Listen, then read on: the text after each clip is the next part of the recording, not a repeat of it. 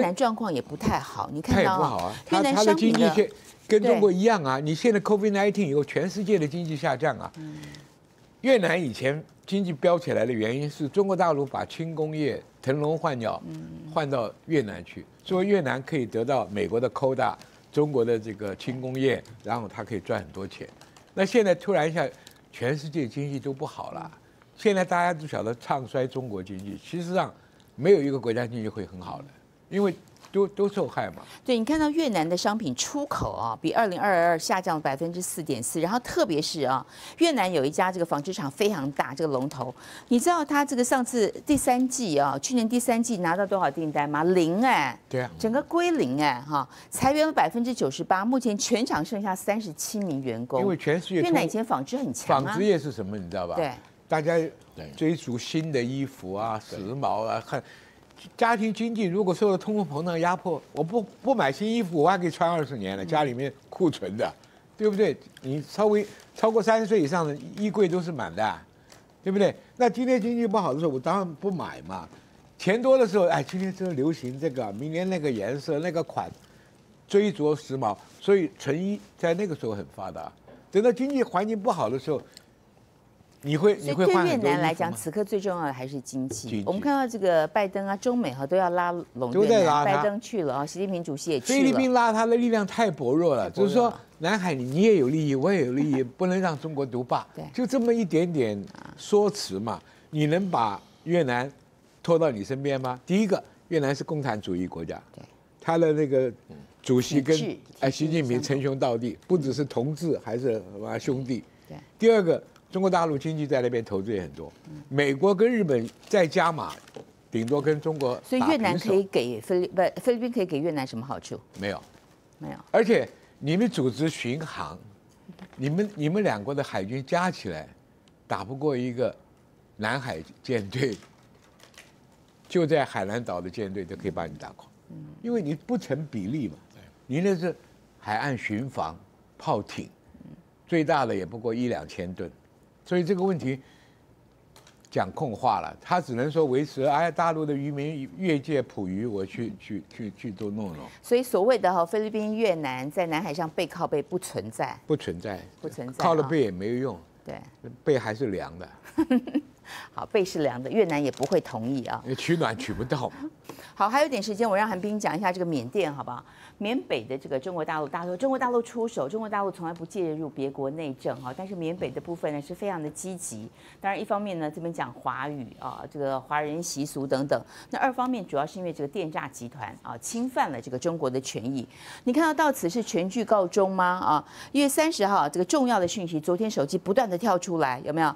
好，六个老大，缅北果敢的重要头目，还有四名重要犯罪。一网打尽啊，全部抓回来了。待会大家画面中可以看到哈，那个东方航空的那个飞机有没有？哇，这个一个一个靠着手套靠下来，哇，旁边那个戒备森严，哇，那场面之大，完全是电影感。包机降落在云南的这个机场啊，移交了十名重大犯罪嫌疑犯，同时你看到四大家族哦，头目无一例外，等于四大家族就此是全灭了是吗？啊，去年我们看到还不断的发布悬赏奖金，一波又一波的。好，到此刻为止，努力了这么久，开花结果，全剧告终，完结篇是吗？好，对于大陆民众来讲，这一幕真的是大快人心啊！韩冰，我觉得当然这个对在短期内对打击这些电诈是确实是有帮助。但是第一个就是这些重要头目虽然现在落网，而且被移交给大陆，可是有一些人对。现在还在逃，那甚至东边跑，对，甚至而且躲在中国大陆内部，因为因为他们都是中国人嘛，所以他要隐藏也不是那么难，所以而且他们其实长期跟中国大陆内部的一些帮派其实也是有联系，所以这些人还是要去把它找出来。那对中国大陆来说的话，诈骗这一块可能在缅甸这边是暂时就是有一个比较好的状况，可是未来会怎么样还很难说，因为第一个缅甸那边军政府跟他们这些地方势力的冲突还没有完全结束。那缅甸军政府其实现在情况看起来不是很好，对对。所以在这种状况下，缅甸接下来会会不会乱？这个是大陆很头痛的一件事情，所以中国要到自己想要的嘛？对他他现在要到一部分，当然是他想要的，就是打击了这些诈骗集团。但如果缅甸军政府就此倒台，对他来讲也不是一件好事。对对，所以他也不能让缅甸军政府那个太难看。所以这现在就是这个其实蛮考验大陆的智慧，也就是他希望缅甸重新回到稳定的状态。可是以现在这个局面，你要让他重新回到稳定的状态的话，那要怎么样去安抚各方的势力？因为缅甸的势力其实非常错综复杂，有好几个各各种不同的山头势力在在这个里头。然后这四大家族被被抓到被赶走了，那他们原来的那个那个真空状态由谁来填补？那会不会出新的乱子？对，这个这个也都是很很麻烦的一件事情。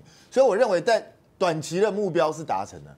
但是长期对中国大陆来讲，希望缅甸走上一个相对和缓、和平局面的目标还没有达成，这个还必须要继续努力，这恐怕不是短期之内可以解决。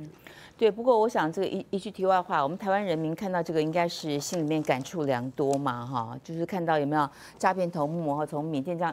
这个包机啊回来那个画面哦，我们台湾人也深受电诈之苦哦。但是我们的政府做了什么事呢？啊，尤其是很多警察好不容易抓到，然后一下就被放掉哦。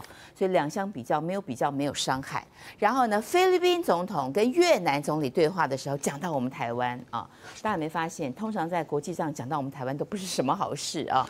菲律宾对台湾海峡的紧张局势深感担忧，台湾任何冲突都会影响到菲律宾北部领土啊，然后危及台湾。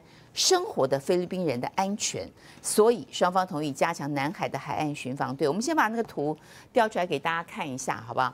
这是一个大陆的一个博主啊。好，我们看到这个从这个马尼马尼拉嘛哈，到这个越南，我们看到到河内啊，本来这样直的，好像这样转了一下过去啊。据说这个多飞了这个多飞了一段时间。当然，当然也有人认为啦，这个航线，孙杨军觉得呢？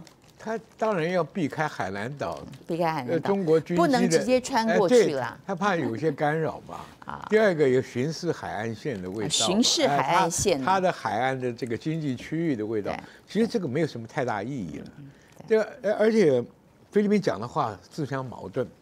他要把越南扯在一起，哎呀，这个有关南海的安全，我们有事你也有事，这个味道拖人家下水吧。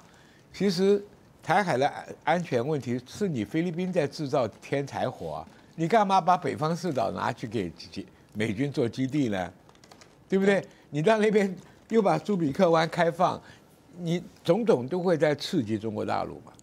本来没有事的嘛。但我要问帅将军哦，那你觉得呢？越南会配合菲律宾的这些吗？因为越南啊，中国大陆投资也很多，对，美国投资也很多，他在走。两边的路线。然后，太阳星全效克菲尔益生菌，我吃了两三天，最明显的感觉是睡眠品质竟然变好了。睡得好，让我整个人工作更专注，心情也变得更稳定更好。因为太阳星全效克菲尔益生菌，才让我认识到克菲尔益生菌，它是由多支菌种的益生菌所组合而成，不仅能够维护消化道机能正常运作，还拥有多种有益健康的保健功能，相当强大。你知道吗？有台大教授专门研究它，称它是神仙的礼物。上千篇的国际研究证实，克菲尔益生菌不仅帮助肠道健康，肠道菌透过肠脑轴影响全身器官，所以维持肠道菌丛的平衡是解锁身体健康、精神健康的钥匙。对帮助睡眠、维持好情绪真的很有感。也因为这不是药，有季节敏感、代谢困扰。关心恶性细胞风险的好朋友，选择太阳星全效克菲尔益生菌，做好日常的保养，身体健康没负担。